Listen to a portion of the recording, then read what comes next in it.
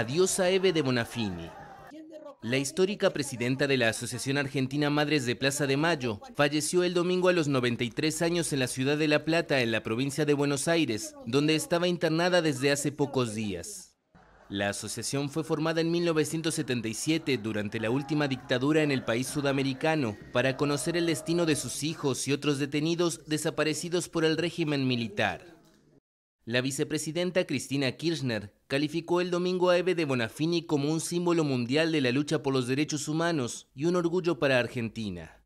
El mandatario Alberto Fernández también despidió con profundo dolor y respeto a quien consideró una luchadora incansable por los derechos humanos y decretó tres días de duelo nacional.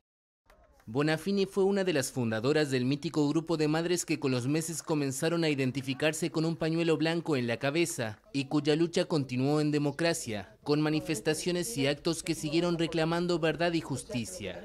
No obstante, la activista cultivó un perfil controversial al volverse una radical militante del kirchnerismo. En 2017 fue procesada por un presunto desvío de fondos públicos en un plan de construcción de viviendas sociales entre 2005 y 2011.